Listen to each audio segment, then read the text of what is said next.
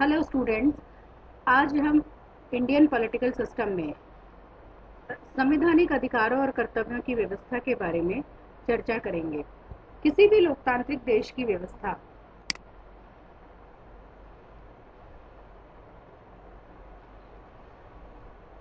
वहाँ के नागरिकों और व्यक्तियों के सर्वांगीण विकास के लिए संविधान द्वारा कुछ मूलभूत अधिकारों की व्यवस्था की गई है।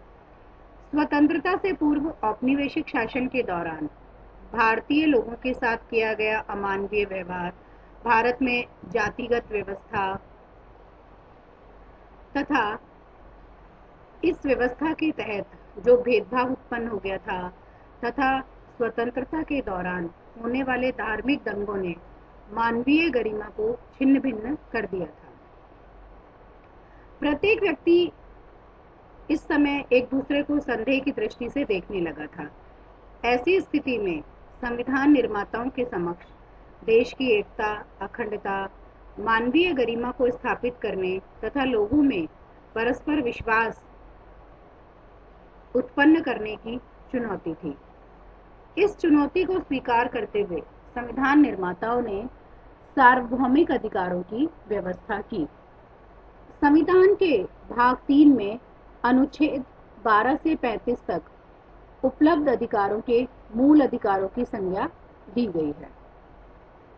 प्रारंभ में संविधान के अंतर्गत नागरिकों के मूल कर्तव्यों की व्यवस्था नहीं की गई थी, परंतु समय के साथ समाज में असामाजिक व देश विरोधी तत्वों की गतिविधियों में वृद्धि हुई। परिणाम स्वरूप ऐसी गतिविधियों के प्रति नागरिकों को जागरूक करने तथा उनमें कर्तव्य बोध की भावना जगाने के लिए 1976 में संविधान के भाग चार कै में अनुच्छेद इक्यावन कै के अंतर्गत मूल कर्तव्यों की व्यवस्था की गई है। हाल ही में नई दिल्ली में आयोजित अंतर्राष्ट्रीय न्यायिक सम्मेलन 2020 में सर्वोच्च न्यायालय के मुख्य न्यायाधीश ने मूल कर्तव्यों पर सभी का ध्यान आकर्षित किया और इस विषय को एक करंट इशू बना दिया, चर्चा में ले आए। अब प्रश्न उठता है कि थोड़ा हम चर्चा कर लें कि वास्तव में मूल अधिकार क्या है। मूल अधिकार का तात्पर्य, राजनीतिक लोकतंत्र के आदर्शों की उन्नति से है। अर्थात जिस देश में जितने नागरिकों को अधिकार दिए जाएँगे, वह देश उतना ही लोकतांत्रिक माना जाता है। मूल अधिकार देश में व्यवस्था बनाए रखने के साथ साथ राज्य के कठोर नियमों के विरुद्ध नागरिकों को स्वतंत्रता प्रदान करते हैं।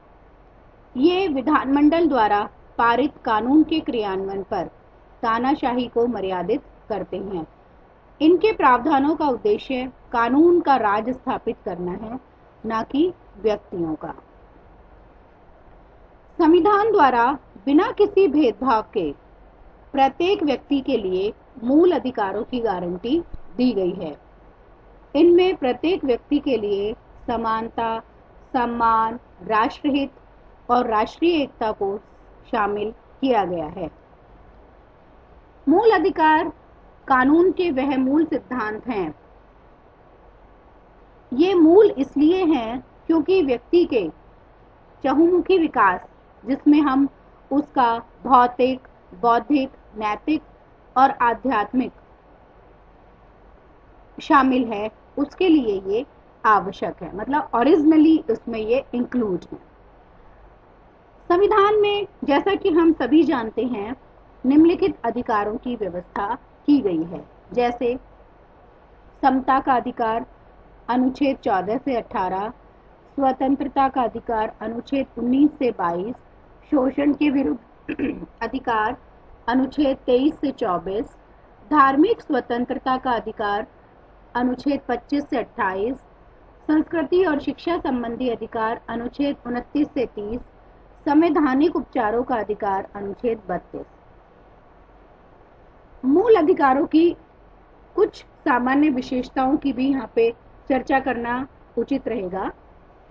मूल अधिकार एक इंपॉर्टेंट जो बात है वो ये है वाद योग्य है, यानी कि जस्टिशिएबल है। राज्य उन पर युक्ति युक्त मतलब कि जहाँ न्याय संगत हो, वो प्रतिबंध लगा सकता है। हालाँकि प्रतिबंधों के औचित्य का निर्धारण न्यायालय द्वारा ही किया जाता है। दूसरी बात आती है कि ये सरकार के एक पक्षीय निर्णय के विरुद्ध उपलब्ध हैं ये कुछ, उनमें से कुछ निजी व्यक्तियों के विरुद्ध भी मूल अधिकार उपलब्ध है। कुछ अधिकार इसमें से नकारात्मक विशेषताओं वाले भी होते हैं। जैसे राज्य के प्राधिकार को सीमित करने से संबंधित अधिकार, जबकि कुछ सकारात्मक होते हैं, जैसे व्यक्तियों के लिए विशेष सुविधाओं का प्रावधान। मूल अधिकार स्थायी नहीं होते, क्योंकि संसद संविधान संशोधन के माध्यम से इनमें कटौती या कमी कर सकती है। राष्ट्रीय आपातकाल के दौरान अनुच्छेद 20 व 21 को छोड़कर इन्हें निलंबित किया जा सकता है। मूल अधिकारों की गारंटी सर्वोच्च न्यायालय द्वारा दी जाती है। इंपॉर्टेंस ऑफ़ फंडामेंटल राइट्स क्या है? क्यों ज़रूरत पड़ती है किसी भी देश के संविधान को मूल अधिकारों की व्यवस्था करने की? क्योंकि मूल अधिकारों से देश में लोकतांत्रिक व्यवस्था उत्पन्न होती है। व्यक्ति अपने आप को सुरक्षित महसूस करते हैं। विधि का शासन स्थापित रहता है। सामाजिक समानता और सामाजिक न्याय की आधारशिला होता है मूल अधिकार। अल्पसंख्यकों और समाज के कमज़ोर वर्गों के हितों की रक्षा करते हैं। कुछ मूल अधिकारों के बारे में कुछ आलोचना के बिंदु भी हम यहाँ चर्चा करेंगे। मूल अधिकार असंख्य अपवादों, प्रतिबंधों और व्याख्याओं के विषय हैं। मतलब इनमें कुछ ना कुछ केसेस चलते रहते हैं, कुछ कोर्ट केसेस होते रहते हैं। मुख्य रूप से राजनीतिक अधिकारों का उल्लेख किया गया है मूल अधिकारों में सामाजिक आर्थिक अधिकारों की व्यवस्था का अभाव है। क्योंकि सामाजिक सुरक्षा का अधिकार, काम पाने का अधिकार, विश्राम एवं सुविधा का अधिकार जैसे उपबंध शामिल नहीं किए गए हैं। कई कई जगह मूल अधिकारों की अस्पष्ट व्याख्या है, धुंधली व्याख्या है, जैसे लोक व्यवस्था, अल्पसंख्यक, उचित प्रतिबंध और सार्वजनिक हित आदि शब्दों की व्याख्या अस्पष्ट है। मूल अधिकारों में स्थायित्व का अभाव क्योंकि पाया जाता है, क्योंकि जैसा कि हमने ऊपर देखा कि संसद इसमें कटौती कर सकती है संविधान संशोधन के माध्यम से। कुछ आलोचकों का यह भी मानना है कि निवारक निरोध का उपबंध मूल अधिकारों की मुख्य भावना से इसे दूर करना है। यह राज्यों को मनमानी शक्ति प्रदान करता है। कई बार ऐसा होता है, व्यक्ति को अपने मूल अधिकारों की रक्षा के लिए महँगी न्यायिक प्रक्रिया से भी गुजरना पड़ता है। बयालीसवें संविधान संशोधन के द्वारा कुछ मौलिक कर्तव्यों को भी इसमें जोड़ा गया है। जैसे मौलिक कर्तव्य जोड़ने के अलावा मूलभूत जो संविधान था, उसमें कुछ संशोधन भी किए गए हैं। जैसे जो इम्पोर्टेंट संशोधन है, वो ये है, बयालीसवें संविधान संशोधन द्वारा भारतीय संविधान में समाजवादी, धर्मनिरपेक्ष एवं अखंडता, ये आपको ध्यान रखने वाली बात है। कि बयालीसवें संविधान संशोधन द्वारा तीन शब्द प्रस्तावना में जोड़े गए हैं। कौन कौन से? समाजवादी, धर्मनिरपेक्ष एवं अखंडता। दूसरा है, इसमें राष्ट्रपति को कैबिनेट की सलाह मानने के लिए बाध्य किया गया है। तीसरा जो संशोधन किया गया, वो ये है कि संविधान संशोधन को न्यायिक प्रक्रिया से बाहर कर नीति निदेशक तत्वों को व्यापक बनाया गया है। और एक और संशोधन किया गया, वो ये है कि शिक्षा वन वन्य जीवों एवं पक्षियों का संरक्षण, नापतौल और न्याय प्रशासन तथा उच्चतम और उच्च न्यायालय के अलावा सभी न्यायालयों के गठन और संगठन के विषयों को राज्य सूची से संवर्ती सूची में स्थानांतरित किया गया है। मतलब ये जो सब्जेक्ट्स हैं ये पहले राज्य सूची में थे, लेकिन बयालीसवें संविधान संशोधन द्वारा उन्हें संवर्ती सूची में शामिल किया गया है। अब हम चर्चा करते हैं मूल कर्तव्यों की। मूल कर्तव्य राज्य और नागरिकों के मध्य एक सामाजिक अनुबंध है, जो किसी देश के संविधान द्वारा वैधता प्रदान करता है। सभी नागरिक मूल कर्तव्यों का उद्देश्य है कि सभी नागरिक समाज और राज्य के प्रति अपने दायित्वों के निर्वहन में ईमानदार रहे। मूल कर्तव्यों में हम, जो ये सूची है, इसके बारे में कि दस मूल कर्तव्यों की प्रारंभ में चर्चा की गई थी। जैसे कि संविधान का पालन किया जाएगा, उसके आदर्शों, संस्थाओं, राष्ट्रध्वज और राष्ट्रगान का आदर किया जाएगा। देश की रक्षा की जाएगी। सभी लोगों में समरसता का भाव होगा। सार्वजनिक संपत्ति को सुरक्षित रखा जाएगा। छः से चौदह वर्ष तक की आयु के बीच के अपने बच्चों को शिक्षा के अवसर उपलब्ध कराना होगा और यह कर्तव्य छियालीसवें संविधान संशोधन अधिनियम 2002 द्वारा जोड़ा गया। लास्ट का जो मूल कर्तव्य है, ये छियासीवे एटी सिक्स कॉन्स्टिट्यूशनल अमेंडमेंट में 2002 द्वारा जोड़ा गया है। मूल कर्तव्यों की विशेषताओं में कि जो मूल कर्तव्य हैं, ये नैतिक और नागरिक दोनों ही प्रकार के इसमें कर्तव्य शामिल किए गए हैं।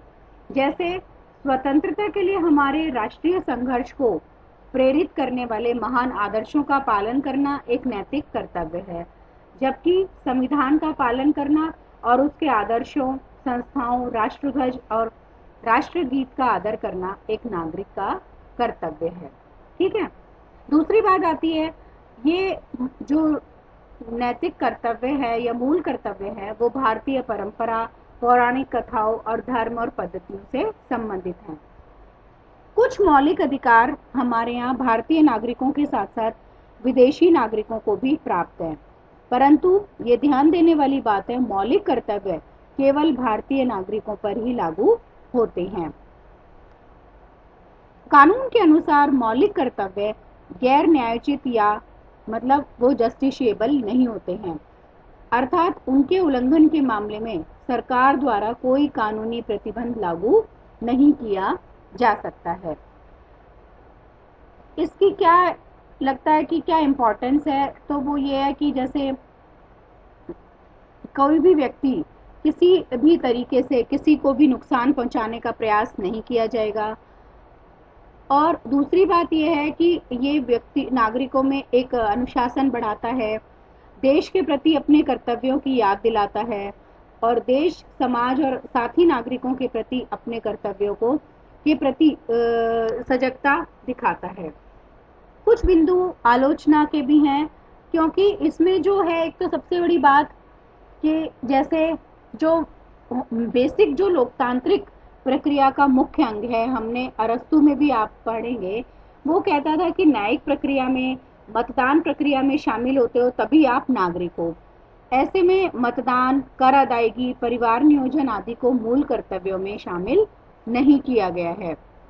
दूसरी बात है कि ये जस्टिशिएबल नहीं है। अगर इस कोई भी नागरिक मौलिक कर्तव्यों का उल्लंघन करता है तो वह कहीं भी जस्टिस उसको कहीं भी प्रताड़ित या उसको सजा का प्रावधान नहीं है। दूसरी बात है कि इसको सही ढंग से परिभाषित नहीं किया गया है। फिर है कि संविधान के मूल कर्तव्य को मुख्य रूप से भाग तीन के साथ जोड़ा जाना चाहिए था, जबकि ये जोड़े गए हैं भाग चार यानी कि नीति निदेशक तत्वों के साथ में। फिर है कि मूल अधिकार और मौलिक कर्तव्य दोनों एक दूसरे के पूरक हैं। कैसे? जैसे कि मान लो एक और नागरिकों को शिक्षा स्वास्थ्य सड़क परिवहन जैसी सुविधाओं के उपभोग का अधिकार प्राप्त है तो उनकी जो रख रखाव है कि सड़क पर हम आ, किसी तरह की गंदगी नहीं फैलाएँ सड़क को मेंटेन करें तो ये मौलिक कर्तव्य में आ जाता है। दूसरी बात है कि यदि संविधान में शांतिपूर्वक विरोध प्रदर्शन का अधिकार प्राप्त है तो सार्वजनिक संपत्ति को नुकसान नहीं पहुंचाना नागरिक का कर्तव्य है। छह से चौदह वर्ष तक का प्राथमिक शिक्षा प्राप्त कराना मौलिक अधिकार है। वहीं मौलिक कर्तव्य यह है कि अभिभावक भी अपने बच्चों को शिक्षा प्राप्त करवाएँ। तो इस तरह से जहाँ हमें सूचना प्राप्त करने का अधिकार प्राप्त है, वहीं यह हमारा ड्यूटी है कि असामाजिक और देश विरोधी तत्वों के बारे में जाँच एजेंसियों को सूचना उपलब्ध कराने का अधिकार भी हमें प्राप्त है, कर्तव्य हमारा ये कहता है।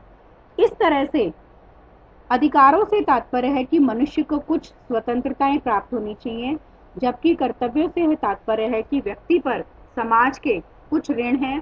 समाज का उद्देश्य किसी एक व्यक्ति का विकास न होकर पूरे समस्त मनुष्यों का व्यक्तित्व का विकास करना है। इसलिए प्रत्येक व्यक्ति का ये दायित्व बन जाता है कि वह अधिकारों के साथ साथ कुछ कर्तव्यों का भी पालन करे, ताकि मौलिक अधिकार जहाँ हमें देश में कहीं भी स्वतंत्र रूप से रहने, घूमने की स्वतंत्रता देते हैं, वहीं मौलिक कर्तव्य हमें देश के प्रति हमारे दायित्व के निभाने का आदेश भी देते हैं। तो इसमें जो असाइनमेंट है वो ये है कि भारतीय संविधान में मूल अधिकार तथा मूल कर्तव्य की उपस्थिति, एक संतुलनकारी समन्वय है, टिप्पणी करें तो इसके बारे में आप लिखिएगा और मुझे बताइएगा। धन्यवाद।